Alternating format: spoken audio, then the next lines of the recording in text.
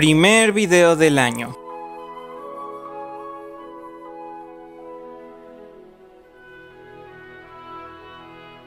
Bueno, bueno, ya. Me desaparecí un tiempo porque simplemente no tenía ganas de hacer nada, porque estaba mal. Y los videos de Cyberdark y Dragon Main están en producción, ya van a salir, tengan paciencia. Además de que el guion de este video lo tenía preparado desde hace tiempo y bueno, quería hacerlo. Sin más dilación, poneme el intro acá. Juego de cartas en motocicletas.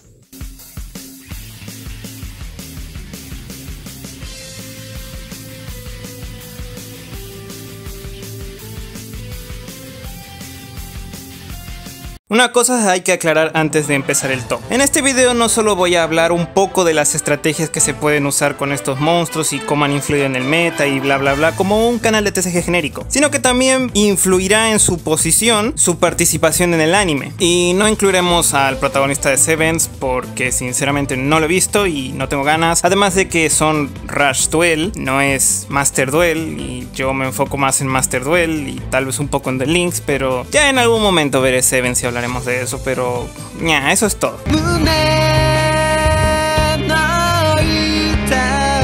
Como el peor de todos, Elemental Hero Neos. La tormenta de arena se avecina. Dejando de lado mi odio hacia los giros, Neos fue una carta que se usó bastante antes de la llegada de Dragoon al TCG Converte Anaconda para invocar a Rainbow Neos. Y durante un tiempo fue meta en Duel Links, con Desperado o cualquier versión Invoket que se te ocurra para darle más asco al oponente. Pero las cartas neoespaciales no es que sean la gran cosa, con alguno que otro postor de fusión interesante, pero aparte de eso no llegan a más. Y podrías utilizar a Neos para invocar a Destiny Hero en Force, pero ya los Destiny Hero tienen mejores opciones como Celestial, Plasma y Malicious. Pero sinceramente, la verdadera razón por la que Neos se encuentra en el puesto más bajo es porque su introducción en el anime es una basura. Ya de por sí Yu-Gi-Oh no es como en general, no es como que tenga el mayor estándar de calidad narrativo y abusa constantemente de los Deus Ex Machina, pero sinceramente Neos es uno de los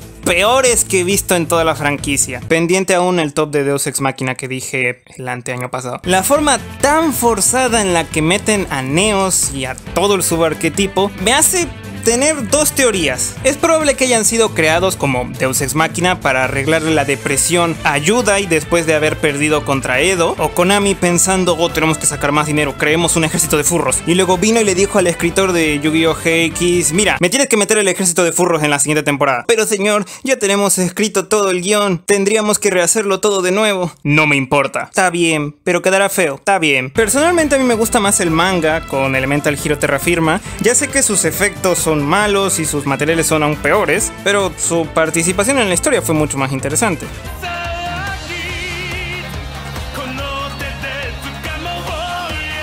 Decode Talker. Se encuentra por encima de Neos por varias razones. Primero, al inicio de la era Link, esta era una carta indispensable para jugar. No para que tu deck fuera bueno y meta. No, no, no. Jugar. Solo lo necesitabas para poder jugar. Ah, y también a Proxy Dragon también puedes usarlo, estaba bueno, pero realmente por la regla que pusieron para nerfear a los péndulos y en el proceso terminaron nerfeando a los otros métodos de invocación también, necesitabas sí o sí un link genérico para poder jugar tu extra deck. Y el mejor en ese momento, al inicio, era este monstruo. Bueno, después llegó la Master Rule 2020 y el monstruo derivó en otros monstruos que sí fueron relevantes en el metagame, como Transcode y Access Code Talker. En cuanto al anime, bueno, este monstruo junto con el Dexiverso genérico representan la amistad que hay entre Playmaker con el tipo de los hot dogs y Ai, además de tener sus momentos épicos como la pelea contra los Gouki pero realmente Playmaker, aunque sí tenía cierta estima por su deck,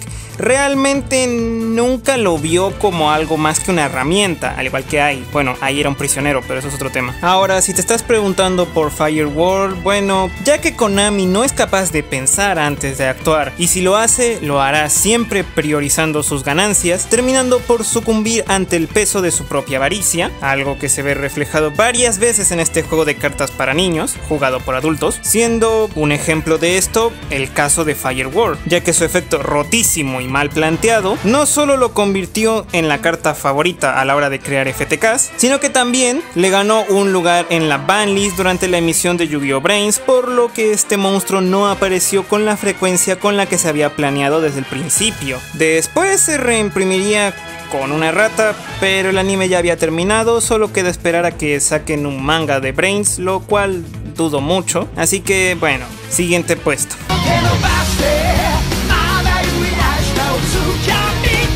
Stardust Dragon, de este no vamos a hablar demasiado, sinceramente, incluso en la era Synchro no era uno de los mejores monstruos de sincronía, o sea, es un nivel 8 con 2500 puntos de ataque, existiendo monstruos de menos nivel con más ataque y mejores efectos. Y bueno, se le ha dado soporte a Stardust y al deck Synchron en general, pero eso solo lo ha vuelto un deck jugable, no bueno, solamente jugable. Y es raro que alguna carta de Stardust toque el metagame. Quizá Charge Warrior sea una excepción porque de vez en cuando se usa con los Drytron y alguna receta loca que quiera robar más cartas. Y esta trampa, cuyo nombre se me fue, puede ser una opción interesante contra la disrupción masiva de los Prankies, Plumero de la Marpía, Twin Twister, etc. Pero aún así, tener un Stardust Dragon en el campo no es como que haga mucha diferencia. Y ahora, ah, el anime. Todo el mundo siempre dice que 5 de ese es el mayor estándar de calidad narrativo de Yu-Gi-Oh! Y ay, no pueden estar más equivocados. Pero eso es un tema para otro video. Y con Stardust, todo el simbolismo que este monstruo tenía, la esperanza de los amigos de Yusei de tener una vida mejor saliendo de Latinoamérica, digo satélite,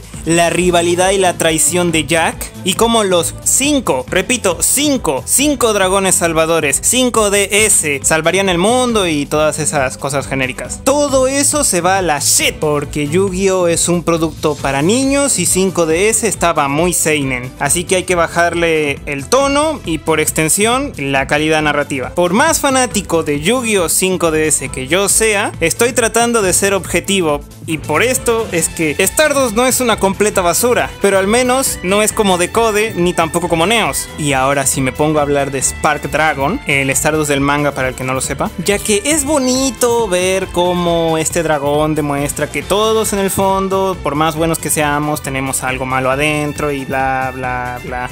Y resulta que los propios autores no sabían cómo hacer la invocación de su versión de Quasar de la forma más coherente. Así que Stardust siempre fue un tuner. Sí, sí, siempre fue un tuner. En ningún momento lo dicen, la carta original no lo muestra, pero, pero siempre fue un tuner. ¡Qué Deus Ex Máquina de mí!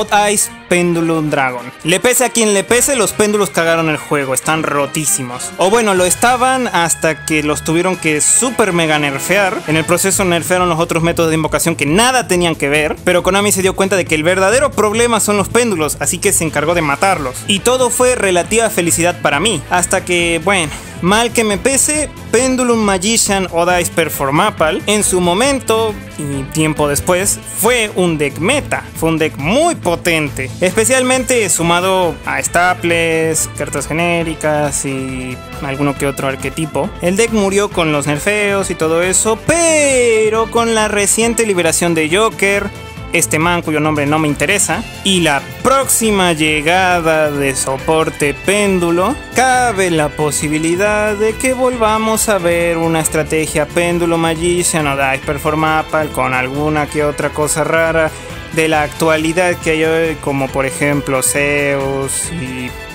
Cross Designator y Dragoon y qué sé yo, podríamos volverlo a ver en las mesas y probablemente topeando. No sé, es una posibilidad. Yo espero que no. Y si llegara a pasar, no se preocupen. Estoy preparado. Ahora, con respecto al anime, no a todo el mundo le gusta Arc B. A mí me parece que está bueno en la parte de la mitad. Al inicio con el niño Shibiru, pues qué puta basura. Después se pone bueno y en el momento en que termina todo se va a la mierda porque teníamos que sacar rápido los links para nerfear a los péndulos. O sea que los péndulos también arruinaron su saga. A mí me gusta la participación de Odd Eyes y Dark Rebellion en el anime. Principalmente porque si bien Yu-Gi-Oh ya había tocado con anterioridad en la saga de Duel Monsters el tema del trastorno de identidad disociativa, antiguamente conocido como trastorno de personalidad múltiple, aquí se puede ver de una forma más directa, ya que Sark se vuelve malvado, entre comillas, por su hambre y deseo de poder. Lo dividen en cuatro identidades y a su vez el poder era tan grande y todo eso que dividió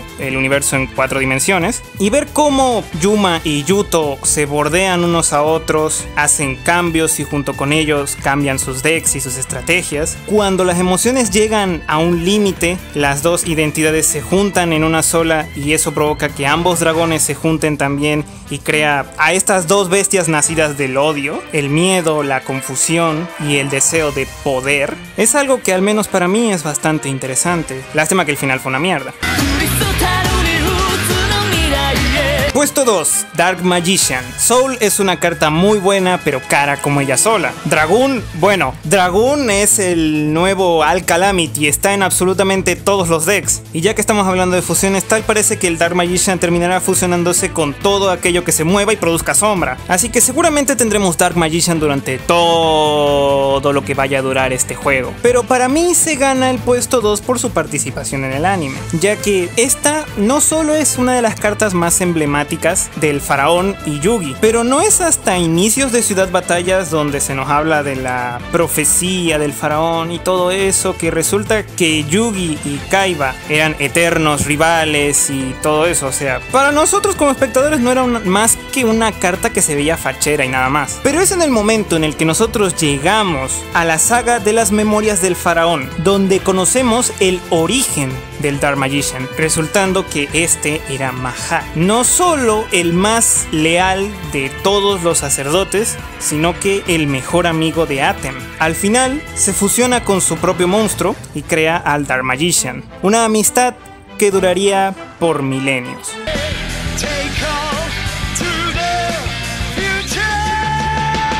Número 39, Utopía. Sexal no es mi saga favorita. Es más, la primera vez que la vi la detesté. Pero después de un tiempo la volví a ver con unos ojos más maduros y me di cuenta de que, bueno, está demasiado bien escrita. Y bueno, eso es algo que tocaré en otro momento, pero número 39 para mí es el mejor monstruo de protagonista porque es una representación de Yuma. Utopía con sus evoluciones y sus variantes y sus otras versiones y todo eso logra demostrar este crecimiento en Yuma. Ya que es un novato inexperto, Utopía empieza con un efecto defensivo, después evoluciona con efectos más ofensivos. Si Yuma va por un mal camino, Utopía se corrompe, así como pasó con Utopía B. Junto con Astral, el monstruo evoluciona, siendo F0 futuro utópico la representación de la madurez completa de Yuma. No solo como duelista que ya no necesita la ayuda de Astral para jugar, sino como una persona que antes era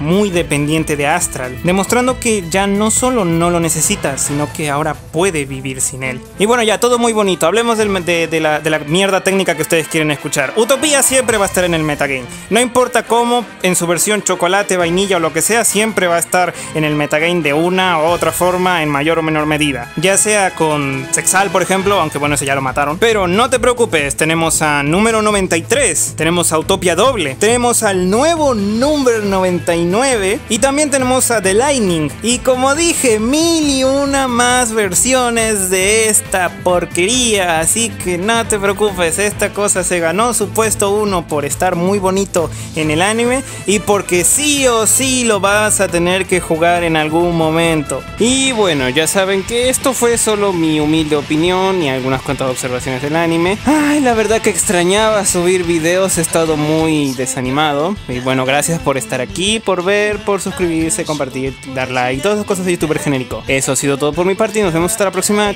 Chao.